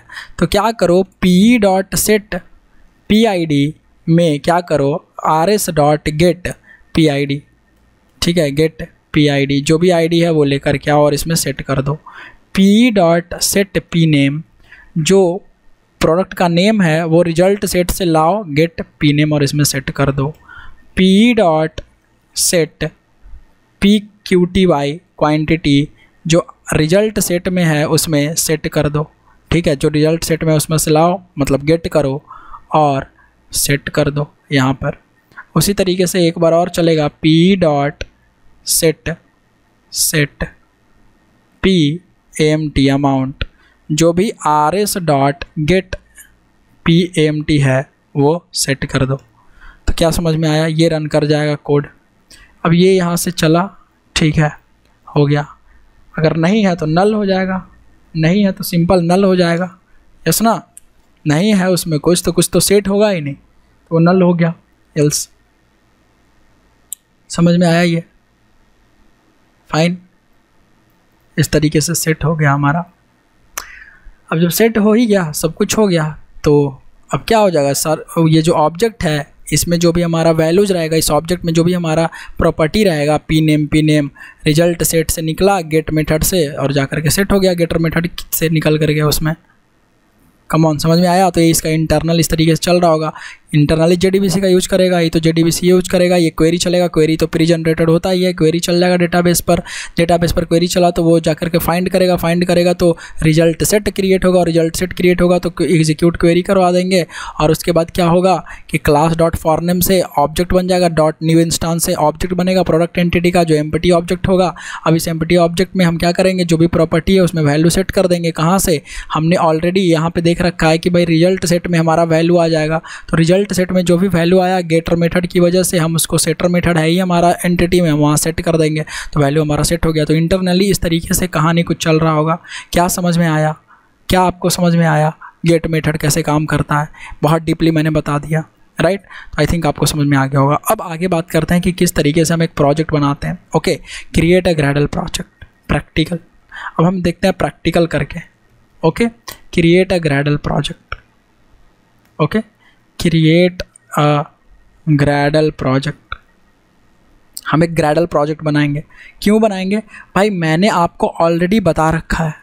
मैंने ग्रेडल आपको ऑलरेडी पढ़ा रखा है। नहीं पढ़ा है आपने तो आप, आपकी गलती है इसमें। आप अगर नहीं पढ़े हैं ग्रेडल तो आपकी गलती है। मैंने बोला था ग्रेडल आप पढ़िए ग्रेडल हम लोग जो भी प्रोजेक्ट बनाएँगे ग्रेडल में बनाएँगे। तो प्लीज़ पैरेलली ग्रेडल पढ़िए। ग्रेडल आपको मिल जाएगा। इसमें अगर आप जाएँ और प्लेलिस्ट में आइए आप। तो ये प्लेलिस्ट में ग्रेडल ट्यूटोरियल है ना? ये ग्रेडल का ट्यूटोरियल आप पढ़िए, ठीक है? ये ग्रेडल आप पढ़िए। ये ग्रेडल आपके लिए ज़रूरी है, बहुत ज़रूरी है ग्रेडल तो ग्रेडल हम पढ़ लेंगे कम ऑन जब ग्रेडल पढ़ लेंगे, उसके बाद हम लोग ग्रेडल का प्रोजेक्ट बना रहे होंगे। अभी बनाइए, ऐसा नहीं कह रहा हूँ नहीं बनाना है, आपको एक क्रिएट करना है ग्रेडल प्रोजेक्ट क्रिएट करना है Eclipse to make sure Buildship plugin Gradle Buildship integration होता है, वो आप में इनेबल होना चाहिए आपके एक्लिप्स में, तभी क्रिएट होगा। मैं यहाँ से हाइबरनेट खोल लेता हूँ। कहाँ है भैया हमारा हाइबरनेट प्रोजेक्ट ओके तो लॉन्च करता हूँ। एंड यहाँ पे हम लोग एक प्रॉड ये बनाएँगे। तब तक मैं डेटाबेस सेटअप करता हूँ। डेटाबेस के लिए डी बी वर मैं यूज़ करता हूँ। एक डेटाबेस में हम नया टेबल बनाते हैं, उसमें हम लोग यूज़ करेंगे और उसमें देखेंगे गेट गेट मेथड कैसे काम कर रहा होगा हमारा। ओके तो यहाँ हमारा डी वीवर खुल गया है। एंड यहाँ एक काम करता हूँ मैं हाइबरनेट ट्यूटोरियल में आते हैं कनेक्शन में आते हैं H B under score demo इस स्कीमा के अंदर जो हमारा एच बी डेमो पब्लिक यहाँ पे आइए टेबल आइए प्रोडक्ट जो दिख रहा है आपको क्रिएट न्यू टेबल और नए टेबल का नाम लिख देते हैं। नए टेबल का नाम हम दे देते हैं स्टूडेंट ठीक है, हमने दिया स्टूडेंट ग्रेट यार। इस स्टूडेंट को हम क्या करते हैं? एक नया कॉलम बनाते हैं and student under score I ये टेबल दे देते हैं। ठीक है? यहाँ पर हम एक टेबल दे रहे हैं। ध्यान समझिएगा। हमने दिया। इसको मैं कर देता हूँ नॉट नल ओके और वैर कैर से मैं कर देता हूँ इसको लॉन्ग है लॉन्ग या इंटीजर इंट ठीक है? हमने किया इंट ओके यहाँ पर मैं एक नया न्यू क्रिएट कॉलम करता हूँ नेम यहाँ पर मैं अगेन क्रिएट न्यू कॉलम करता हूँ, यहाँ से स्टूडेंट स्टैंडर्ड है ना? कौन से स्टैंडर्ड या कोर्स कर दे रहा हूँ कोर्स और यहाँ पर कर लेता हूँ email create email id okay email underscore I okay ये हमारा हो गया email ID student ID this this this right click करके यहाँ पर create new constraint from selection और इसमें प्राइमरी की सेलेक्टर लेता हूँ। ये प्राइमरी की बन जाएगा स्टूडेंट आईडी का। ग्रेट अब देखिए यहाँ पे नेम हमारा वेर कर है, सब कुछ सही है, ठीक है। यहाँ आ जाते हैं, एक नया ग्रेडल प्रोजेक्ट क्रिएट करना है। क्या क्रिएट करना है? ग्रेडल प्रोजेक्ट अब आपको जाना है इक्लिप्स मार्केट प्लेस में और इक्लिप्स मार्केट प्लेस में आपको सर्च करना है। तो यहाँ से हम सर्च करेंगे बिल्ड सिप अब ये बिल्ड सिप प्लगइन होगा हमारा ग्रेडल बिल्ड सिप इंटीग्रेशन करके। देखिए इंस्टॉल है तो आपको ये इंस्टॉल होना चाहिए तभी ग्रेडल का प्रोजेक्ट आप बना सकेंगे इंटरनेट से यहाँ पे। तो मैं यहाँ पर आ, क्या कर रहा हूँ यहाँ लिख लेता हूँ। Make sure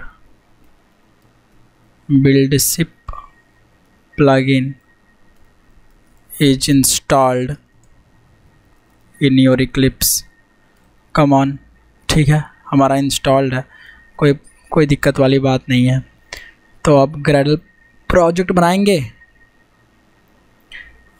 यहाँ पे create a database table and then code and then code अब कोड करेंगे। ठीक है create a database table and then code तो यहाँ से हमें ग्रेडल प्रोजेक्ट बनाने के लिए न्यू यहाँ पे देखिए अदर में आएँगे अदर में यहाँ से चूज़ करेंगे ग्रेडल ग्रेडल के बाद नेक्स्ट अब यहाँ पर हम नाम देंगे ग्रेडल का नेक्स्ट करके, यहाँ पे नाम क्या देना है? एच बी या थ्री डैश हम, मेरा है किसका है? गेट मेथड का ना भाई? हाँ loading object dash get method मैं ऐसे लिख देता हूँ। फिर करेंगे नेक्स्ट और यहाँ पे override work space setting Gradle wrapper का मतलब इंटरनेट से ग्रेडल डाउनलोड करना ग्रेडल लोकल इंस्टॉलेशन डायरेक्टरी मतलब आपके सिस्टम में अगर ग्रेडल डाउनलोड किया हुआ है, जो मेरे में है तो मैं यहाँ पे सेटअप कर लूँगा। रिमोट डिस्ट्रीब्यूशन लोकेशन जो है remote distribution local installation directly remote specific gradle version download करना है तो यहाँ से कर लेंगे। बट मुझ, मेरे में ऑलरेडी इंस्टॉल है तो मैं लोकल इंस्टॉलेशन डायरेक्टली चूज़ करूँगा, यहाँ से ब्राउज करूँगा और ब्राउज में उस फोल्डर पर जाऊँगा जहाँ पर मेरा ग्रेडल इंस्टॉल पड़ा हुआ है। तो मेरा ग्रेडल इंस्टॉल प्रोग्राम फाइल्स इस, यहाँ पर होना चाहिए मेरा ग्रेडल मेरा ग्रैडल भाई, मेरा ग्रैडल जी भैया, ये देखिए ग्रैडल अब इस ग्रैडल में जाने के बाद देखिए आपको जो फोल्डर्स ढेर सारा मिलेगा, ये बिन फोल्डर है। इसको सेलेक्ट नहीं करना है, ध्यान समझिएगा, इसको सेलेक्ट नहीं करना है। इसलिए नहीं करना है क्योंकि ये पेरेंट फोल्डर है, ठीक? तो बिन का पेरेंट फोल्डर हमें करना है सेलेक्ट बिन फोल्डर जहाँ पर है, उसका पेरेंट फोल्डर कौन है? तो ग्रैडल सेवन पॉइंट देखिए मैं बैक जा रहा हूँ, है ना? तो इस फोल्डर को सेलेक्ट कर लेना, बस। देन फिनिश यहाँ पर फिनिश करने से पहले आपको ऑटोमेटिक प्रोजेक्ट सिंक्रोनाइजेशन है, इसको इस पर क्लिक करके, ठीक है? और और और और क्या बोल रहा है भाई? अच्छा ये लोकल इंस्टॉलेशन डायरेक्टली में चूज़ करेंगे, है ना, यहाँ पे। ये automatic project synchronization and then करेंगे फिनिश या नेक्स्ट और ये देखिए क्रिएट हो रहा होगा, एक ग्रेडल प्रोजेक्ट क्रिएट हो जाएगा। और ग्रेडल प्रोजेक्ट जब क्रिएट हो जाएगा तो यहाँ पर खुद से प्रोजेक्ट बन जाएगा, तब तक इसको प्रोजेक्ट क्रिएट होने देते हैं। जस्ट वेट कर लेते हैं थोड़ी देर। ठीक है, तुरंत से ये क्रिएट हो जाएगा, फिर हम लोग कोड कर लेंगे।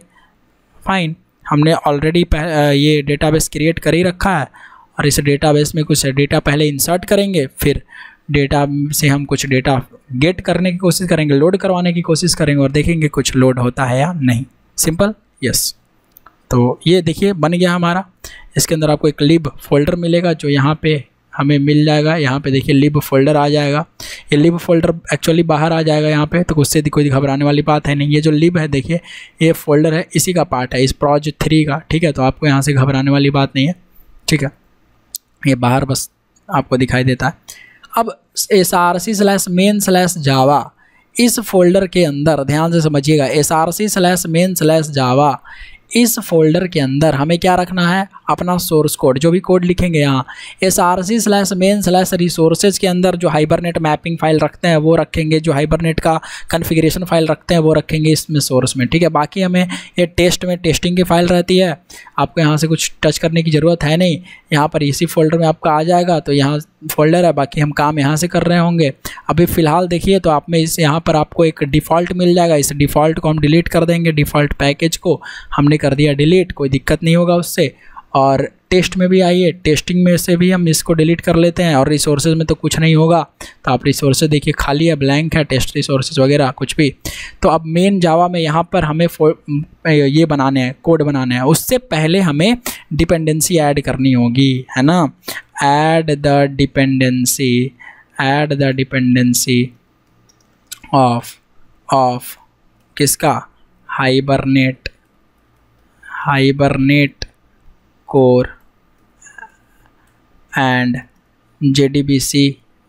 B C driver J D B C connector या ड्राइवर, है ना? C driver. Okay. In build dot gradle. Build dot gradle file में आपको हाइबरनेट कोर और हाइबरनेट ये J D B C driver और हाइबरनेट कोर का जो डिपेंडेंसी है वो डालना पड़ता है। तो वो डालने के लिए देखिए कहाँ हम जाएँगे बिल्ड डॉट ग्राइडल में। देखिए अपने प्रोजेक्ट के बिल्ड डॉट ग्राइडल है, यहाँ पे है। देखिए यहाँ पर रिपोजिटरी है है। डिपेंडेंसीज है है। तो ये डिपेंडेंसी को मैं सबसे पहले हटा देता हूँ। ठीक है, ये लीजिए मैंने हटा दिया और इससे कोई दिक्कत नहीं होगा। नीचे तो हमें, नीचे जो हमें, एक मिनट एक मिनट, यहाँ से फिर से हटाते हैं इसको। यहाँ से ये हटाते हैं, ये रहने देते हैं। ये टास्क डॉट नेम जो है, ये हटाते हैं। ये हम रहने देते हैं, ये वाला जो भी ब्रैकेट है ब्रैकेट नहीं क्लोज करना ब्रैकेट में ही तो हम लिखेंगे। सेव करते हैं। सेव करने के बाद यहाँ आ जाते हैं अपने हम। क्रोम में यहाँ पे लिखेंगे M V N repository and देखिए एम रिपोजिट्री में मैं यहाँ पे सर्च करूँगा। ये एम रिपोजिट्री है। यहाँ से आप कोई भी डिपेंडेंसी लगा सकते हैं। तो इसमें सर्च कर लेंगे डिपेंडेंसी में हाइबरनेट जैसे हमने सर्च किया, हाइबरनेट तो कोर रीलोकेशन आया। ठीक है, इस पर क्लिक करते हैं, देखते हैं। हाइबरनेट आया। जी, one point, six point, one point, ये हमें ये नहीं चाहिए। मैं यूज़ करना चाहूँगा five point, six point, ten. Final, है ना? ये देखिए, सेंट्रल सेंट्रल लिखा हुआ है। Five point, six point, ten, इस पर मैं क्लिक कर लेता हूँ। एंड ये जो है हमारा सेंट्रल रिपोजिटरी का नाम क्या है? सेंट्रल है, ठीक है? यहाँ देखिए, आते हैं। हम मेवन यूज़ कर रहे हैं ग्रैडल ग्रैडल यूज़ कर रहे हैं ना? तो ग्रैडल पर क्लिक करेंगे और इसको ऐसे क्लिक करेंगे तो सेलेक्ट हो जाएगा।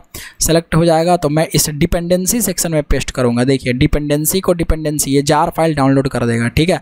अगर आप अभी देखें तो अभी अगर आप देखें तो यहाँ पे कुछ भी जार फ़ाइल वगैरह का नहीं दिखा रहा है, लेकिन अभी मैं सेव करूँगा तो ऑटोमेटिक हमारा किया हुआ था सिंक्रोनाइजेशन ऑन तो ये डाउनलोड कर लेगा। हमें राइट क्लिक करके राइट क्लिक करके ग्रैडल में जाकर के रिफ्रेश ग्रैडल करने की कोई ज़रूरत नहीं है। क्योंकि बस सेव करेंगे एंड थोड़ी देर वेट करेंगे। देखिए राइट साइड में ये डाउनलोड कर रहा है ना वर्क स्पेस यहाँ पे थर्टीन परसेंट इट्स डाउनलोडिंग तो इसको डाउनलोड कर लेने देते हैं और तब तक वेट कर लेते हैं और तब तक हम दूसरा जो जेडीबीसी का जार चाहिए हम, हमें और वो कैसा जार चाहिए? तो पोस्ट ग्रेस का है ना तो मैं क्या करूँगा P S Q L J D B C ठीक है? P S Q L J D B C लिख दूँगा। तो आ जाएगा हमारा ऐसा पोस्ट ग्रेस लिखता हूँ, पूरा ही लिखता हूँ Postgres J D B C अब जब Postgres J D B C लिखूँगा तो सर्च कर लेते हैं। आ जा भाई J D B C driver ठीक है?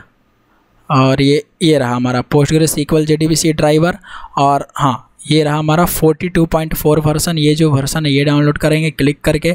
ये भी सेंट्रल रिपोजिटरी में है तो सेंट्रल रिपोजिटरी में यहाँ ग्राइडल वाला ये कॉपी कर लेंगे, इसको सेलेक्ट करेंगे तो ये कॉपी हो जाएगा, ठीक है? अब देखिए, जो सेंट्रल रिपोजिटरी में है, उसके लिए मेवन सेंट्रल यूज़ कर रहे होते हैं ना? मेवन सेंट्रल इस तरीके से। तो ये ऑलरेडी लिखा हुआ रहेगा, इसमें आपको करने की कोई दिक्कत है नहीं।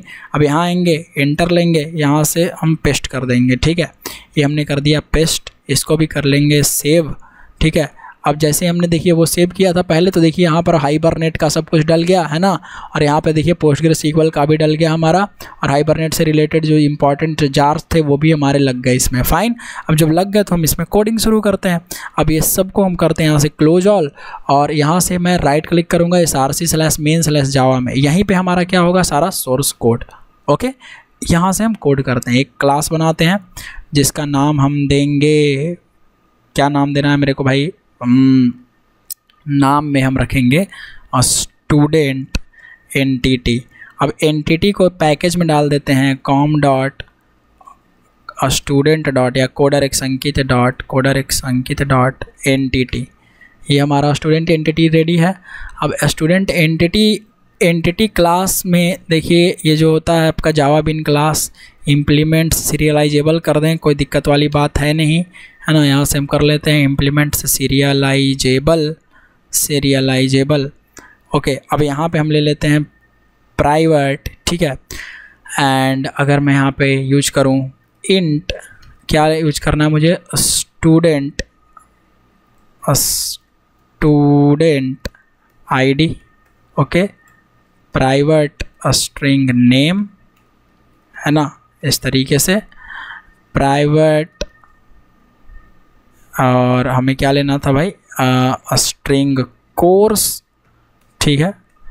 प्राइवेट स्ट्रिंग ईमेल ओके ये हमारा है। राइट क्लिक करेंगे, ये जितना प्रॉपर्टी रहेगा, हम वो उतना जो एंटिटी है उसमें, हमारे इसमें होना चाहिए। तो ये देखिए, चार है।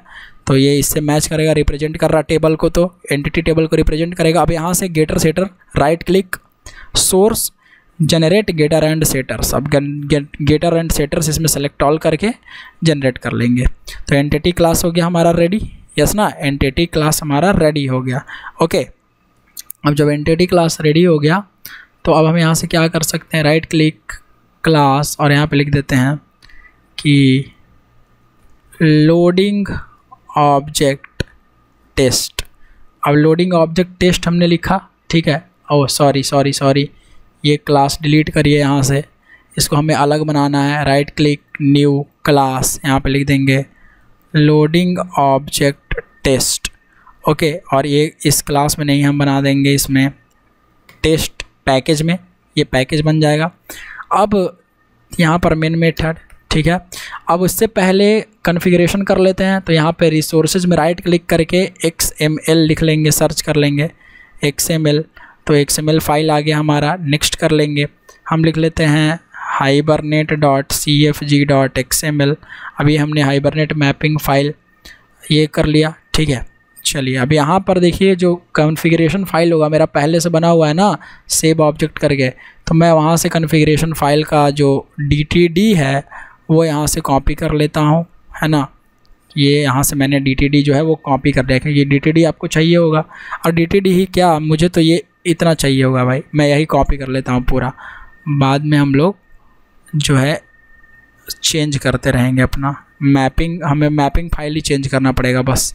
ये हमने सेलेक्ट किया एंड हम गए इसके हाइबरनेट कन्फिग्रेशन फ़ाइल में, यहाँ आ जाएँगे, ठीक है? ये हमने यहाँ पे आ गया एंड सही है हमारा। हमारा एच बी डेमो ही है, ठीक है? डेटाबेस वगैरह सब सही है पोस्टग्रेस इक्वल डायलेक्ट वगैरह सही है। एक काम करता हूँ, मैं डायलेक्ट को हटा देता हूँ, क्योंकि खुद से डायलेक्ट ले ही लेगा। एंड सही है यार। उसके बाद सोर्स इक्वल ट्रू सब कुछ किया हुआ है। देखिए मैपिंग रिसोर्स हमें बदलना पड़ेगा, क्योंकि मैपिंग फ़ाइल इस बार हमारा चेंज होगा। डेफिनेटली इस बार हमारा चेंज होगा। तो मैपिंग फ़ाइल जो होगा, मैं इस एंटिटी में रखूँगा new and new and XML फिर से बनाते हैं। एक्स एम यहाँ पर क्या रखना है हमें? तो स्टूडेंट प्रोडक्ट स्टूडेंट एंटिटी ना? तो मैं लिख देता हूँ student dot H B M dot okay X M L Hibernate mapping dot X M L finish कर लेते हैं।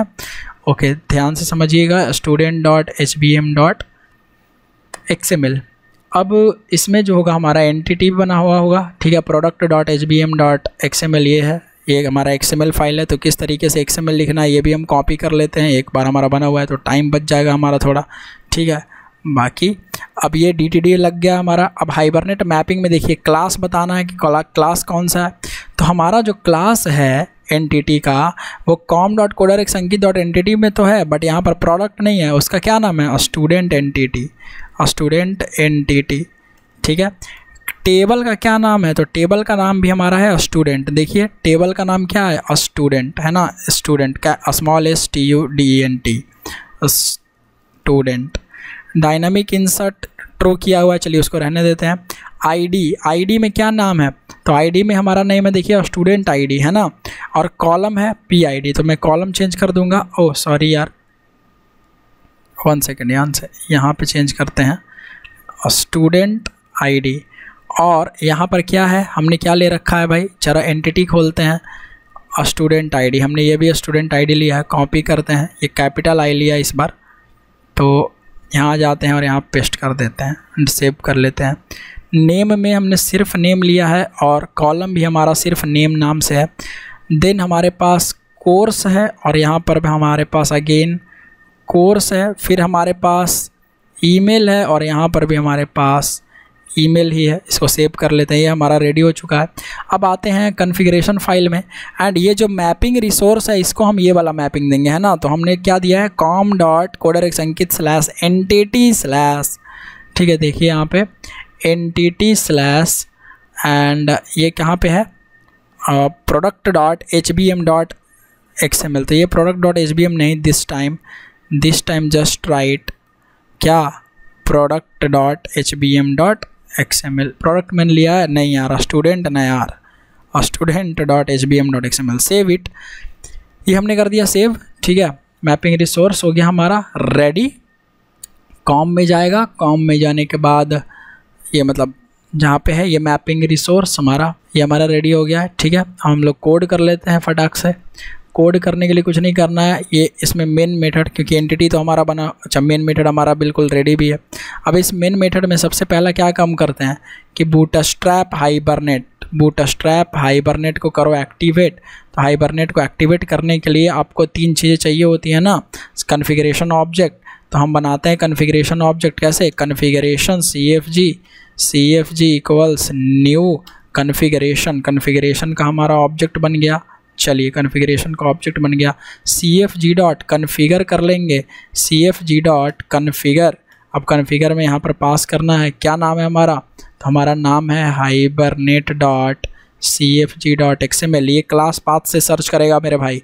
क्लास पाथ हमारा सेट है कहाँ? इस रिसोर्स पर। ठीक है? तो रिसोर्स पर सेट है तो वहाँ डायरेक्ट सर्च कर लेगा।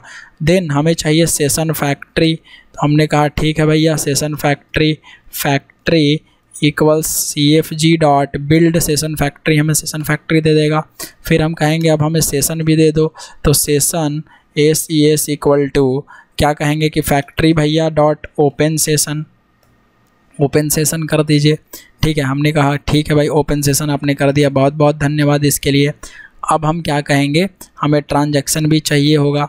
तो हम एक काम करते हैं transaction T X equal to अभी फ़िलहाल रख लेते हैं नल। जब हमें ज़रूरत पड़ेगा तो हम कर लेंगे ट्रांजैक्शन भी। अब यहाँ पे देखिए, हम पहले सेव करवाते हैं डेटाबेस में राइट तो सेव करवाने के लिए हमें पहले चलाना है student N T T S T equals new student N T T ठीक है, हमने बनाया new student N T T okay okay तो यहाँ पे हम, हमने ये बनाया। अब करते हैं S T T dot set set I D I D set कर देते हैं three six five four and S T dot set name name set कर देते हैं राहुल, ठीक है? S T dot set course course set कर देते हैं Java S T dot S T dot अरे यार S T dot set email email set कर देते हैं, Rahul at the rate A B C dot com ठीक है? अब इसको करना है, ठीक है सेव करवाइए session dot save save object में क्या जाएगा? एस टी गया? ओके यार ग्रेट अब यहाँ पर हम क्या करवा रहे होंगे? Transaction transaction session equal transaction equal to null and T X equal to session dot begin transaction करवा दे रहे हैं। ट्राई करवाइए, ठीक है? क्या? कि ट्रांजैक्शन डॉट कमिट हो जाए। अगर कुछ दिक्कत आता है तो कहिए कि ठीक है भाई एक्सेप्शन पकड़ लीजिए। E dot print stack trace कर लीजिए। कुछ एक्सेप्शन में दिक्कत आती है तो यस क्या समझ में आ रहा है? आ रहा है समझ में? यहाँ तक दिक्कत है? नहीं है। तो ठीक है, अगर कमिट हो जाता है तो यहाँ पे लिख देते हैं कि object is saved fine save है कि नहीं? राइट क्लिक कीजिए. Run as Java application run कर लीजिए. बस. ओके अच्छा रिसोर्स को सेव करने के लिए बोल रहा था. रन हो रहा है रन हो रहा है रन हो रहा है. देख लेते हैं हमारा सेव होता है कि नहीं. ओ आ गया हमारा एक एरर एरर आया होगा. Hibernate dot property J D B C Postgres equal H B demo okay okay one second यार, हमने हाइबरनेट डेमो में एल नहीं हाइबरनेट कन्फिग्रेशन फ़ाइल में जो एच बी डेमो है, ठीक है, वो तो सेट किया, वो हमने बिल्कुल सेट कर दिया। Postgres Postgres equal भी सही है, हमारा चौवन बत्तीस पोस्ट पर पोस्ट पर पोर्ट पर कनेक्टेड भी है। But but but but but but what we have to do यार? वन सेकंड बॉस ये तो हमारा कॉपी किया हुआ है, वहाँ सा वहाँ का ना? एक सेकंड हाइबरनेट मैपिंग फ़ाइल में ज़रा जाइए। टेबल तो हमारा स्टूडेंट बना हुआ है ही। क्या वैसे बोला ये? फिर से एक बार कंसोल देखते हैं हम लोग। Property access P I main could not locate getter a student has P I D अच्छा अच्छा अच्छा। Get student I D P I D S B M में जाइए। देखिए कॉलम में हमारा ये गलती किया हुआ है यहाँ से। स्टूडेंट आईडी कॉलम का नाम है। तो मेरे भाई स्टूडेंट आईडी ऐसे सेलेक्ट करेंगे एंड सेव करेंगे। फिर से आएँगे, ये हमारा लोड ऑब्जेक्ट टेस्ट रन है। जावा एप्लीकेशन रन करवा लेंगे एंड देखते हैं फिर से रन होता है कि नहीं। हो जाना चाहिए, हमारा वहाँ पे मिस्टेक हो रहा था। अच्छा बिल्ड सेशन फैक्ट्री में अब गलती है। फिर से हमारा क्या गलती है? Could not locate the P I D मैंने तो चेंज कर दिया बॉस मैंने Hibernate configuration dot X M L यहाँ तो सही है। Student H B M O I D name is P I D यहाँ पर भी चेंज हो गया यार। स्टूडेंट आई डी ये ऐसे चेंज होना चाहिए। सेव सेव इट ठीक है again I am running it I don't know ये। आई थिंक वो सेव नहीं हुआ था अच्छे से। चेंज तो किया था मैंने, कोई बात नहीं। फिर से चेंज करते हैं। Again it is demanding something could not locate P name यार, हमने कहीं और चेंज मार दिया क्या यार? आई थिंक हमने लगता है उस वाले फोल्ड फ़ाइल में चेंज कर दिया। अरे यार, ओ, सिर्फ़ नेम रखो। कोई बात नहीं, यहाँ से हम लोग सेव नहीं हुआ होगा या हमने कहीं दूसरी जगह, कोई बात नहीं, यहाँ पे हम लोग चेंज कर लेते हैं। Property name course course email email save it again rerun the project right click run as java application i think this time i it has to work let let's wait just हाँ अभी आया but अभी आया relation postgres equal a student does not exist okay okay okay okay क्या चला भाई query तो यहाँ पे आया बट ऑब्जेक्ट हमारा सेव नहीं हुआ, आ गया exception could not execute statement student SQL grammar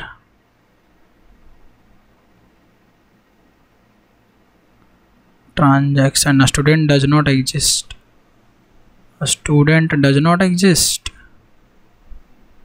here save it one second यार, ये मैंने परसिस्ट नहीं किया है।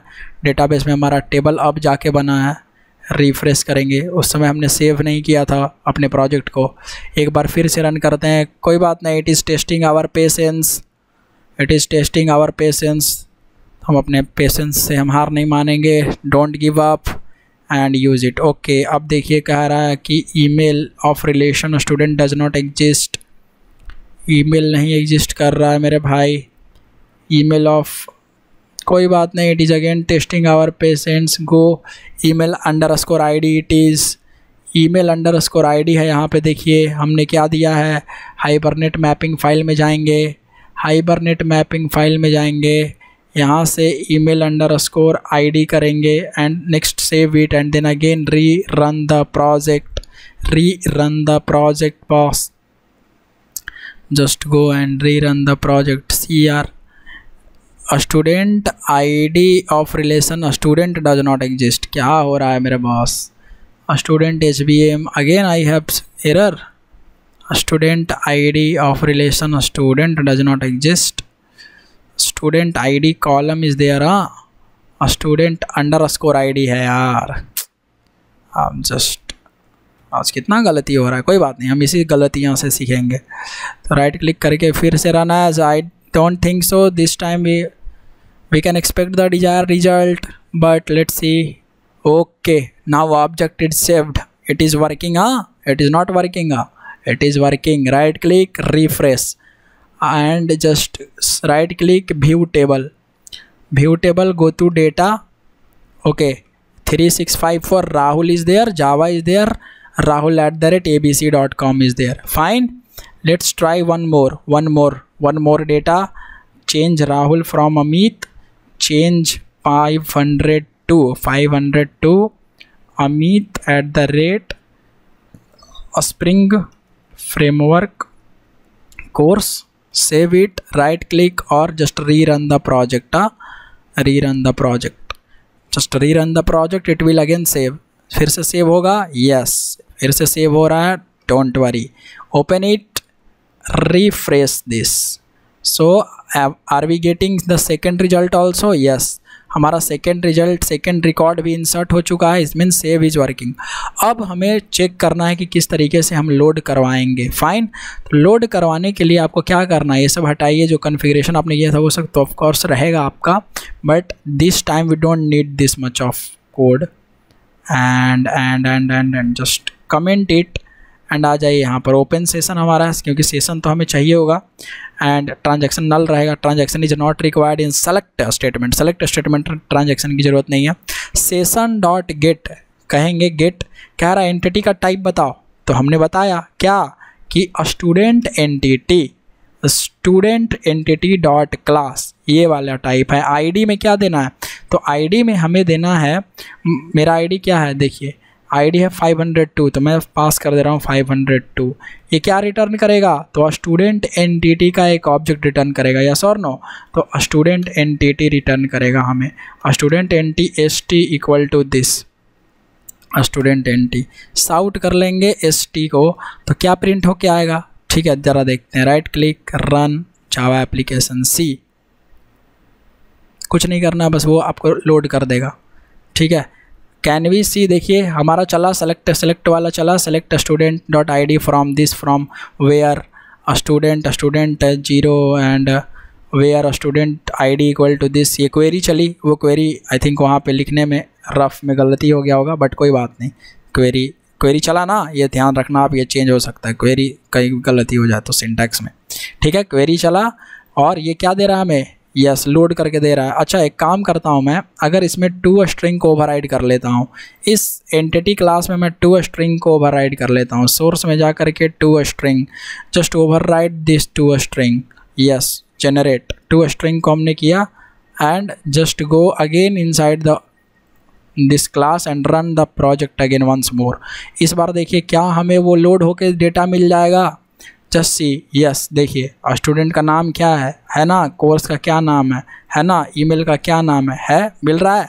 यस डेफिनेटली अगर मैं फिर से ऐसे करूँ student entity student entity S T two student two equals session dot get session dot get student entity and let से मैं एक ऐसा आईडी देता हूँ जो है ही नहीं okay okay? Student entity dot class अब मैंने ऐसा आईडी दिया जो इसमें एग्जिस्ट नहीं कर रहा हमारे डेटाबेस टेबल में। अगर मैं साउट करता हूँ एस टी टू को तो डिस टाइम दिस टाइम हम हमें क्या मिलना चाहिए? Right click run as Java application run it देखता हूँ मुझे क्या मिलता है। फ़र्स्ट वाले में तो मुझे मिलेगा। सेकंड वाले में are we getting null yes तो मुझे नल मिल रहा है। है ना? नल मिल रहा है। तो इसका मतलब ये नहीं है। अच्छा मैं कुछ अच्छा डाल के देखता हूँ जो अवेलेबल है। तो three six five four available है। Yes three six five four available है। मैं लिख देता हूँ three six five four oh sorry यार, यहाँ नहीं। थ्री सिक्स फाइव फोर मुझे यहाँ लिखना है। आईडी के जगह पर, यहाँ पर एस टी टू तो वो दिखा देगा। रन करते हैं प्रोजेक्ट को फिर से। तो गेट मेथड मेरा काम कर रहा है। ज़रा फिर से देख लेते हैं। यस देखिए, क्या हमारा गेट मेथड काम कर रहा है? यस इस बार भी आ गया। राहुल एंड ऊपर देखिए अमित अमित, राहुल, जो भी है हमारा, वो सब दिख रहा है। फाइन ग्रेट ना?